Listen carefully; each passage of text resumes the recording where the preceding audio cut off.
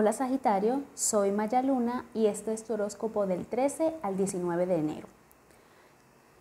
Sagitario, esta carta del 2 de oros y la reina de espadas indica que tienes que equilibrar tus emociones ante una mujer de tu trabajo o una mujer vinculada a la parte económica que es como bastante temperamental, es una persona de carácter fuerte o simplemente es una persona que no te agrada del todo.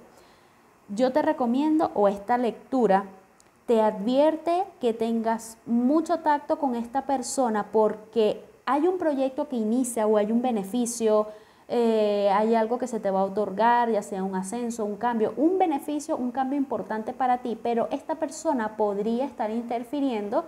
Entonces yo te recomiendo que seas bastante diplomático, que no que vayas a dar tu brazo a torcer, ni vayas a estar haciendo cosas simplemente para complacerla, pero que sí seas muy inteligente, que tengas mucho tacto con ella para que esta persona no vaya a interferir en eso que, que podría estar dándose para ti.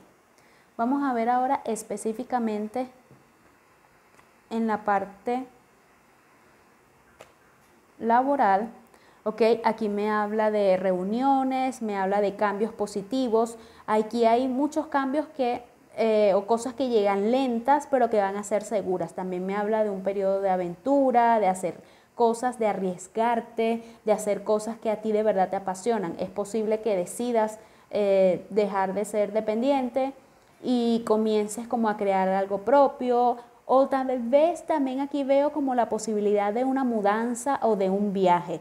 Fíjate que esta carta anuncia como si decides irte a otro país, a otra ciudad por cuestiones de trabajo. Esto también podría estar relacionado con lo que te dije anteriormente. Esto puede tratarse de algún cambio en la parte laboral o simplemente decides dejar tu actual empleo para emprender algo, ya sea algo independiente o algo tal vez en, en otro país. Esto lo veo bastante fuerte. Vamos a ver ahora en la parte del amor cómo van a estar tus energías.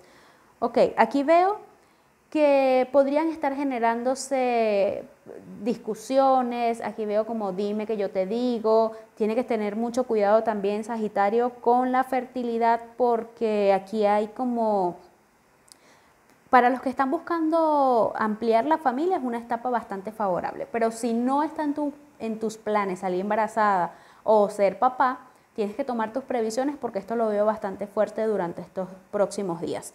Aquí también veo que hay cosas que tú estás tolerando por, por amor. Hay tal vez situaciones que no te agradan, actitudes que no te convencen, tal vez sientes que no estás recibiendo el cariño, la atención que tú quisieras o que tú necesitas, pero tienes que tratar de ponerte también en los zapatos de la otra persona y sentarte a conversar con ella, porque está por qué estás teniendo esta actitud, cómo te estás sintiendo tú, dile cómo, pregúntale cómo te estás, se está sintiendo aquella persona, porque puede que te estés enfocando solamente en lo que a ti te parece, en lo que tú estás sintiendo, y podrías estar dejando a un lado la, la posición de aquella persona. Y puede que ambos desde su lugar estén en la misma condición. Mm, siento que no me está atendiendo, siento que hay algo que le pasa, y esto simplemente podría solucionarse hablando, pero si no lo hacen, se van a estar generando roces y se van a estar generando discusiones que podrían comenzar a fracturar la relación. Así que aprovecha ahorita que están en un buen momento para atender esto, esta situación.